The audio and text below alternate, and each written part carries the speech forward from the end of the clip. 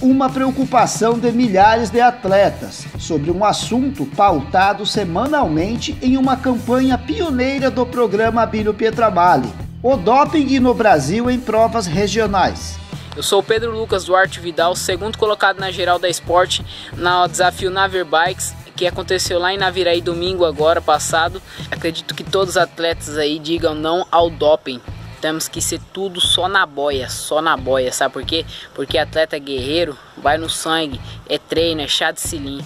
É isso aí, Abílio, só na boia. Abílio Petramali, junto com vocês. Tá de parabéns à equipe de Naviraí, com toda a sua estrutura, com todo o seu desenvolvimento lá conosco. Eu sou da equipe MCC e nós agradecemos muito vocês. E também para você, Abílio. Tá de parabéns aí por estar conosco aí direto nessas competições. Valeu, Abílio. Fica com Deus. Um abraço, irmão. Tamo junto, Pedro Lucas e toda a galera do esporte sem doping no Brasil.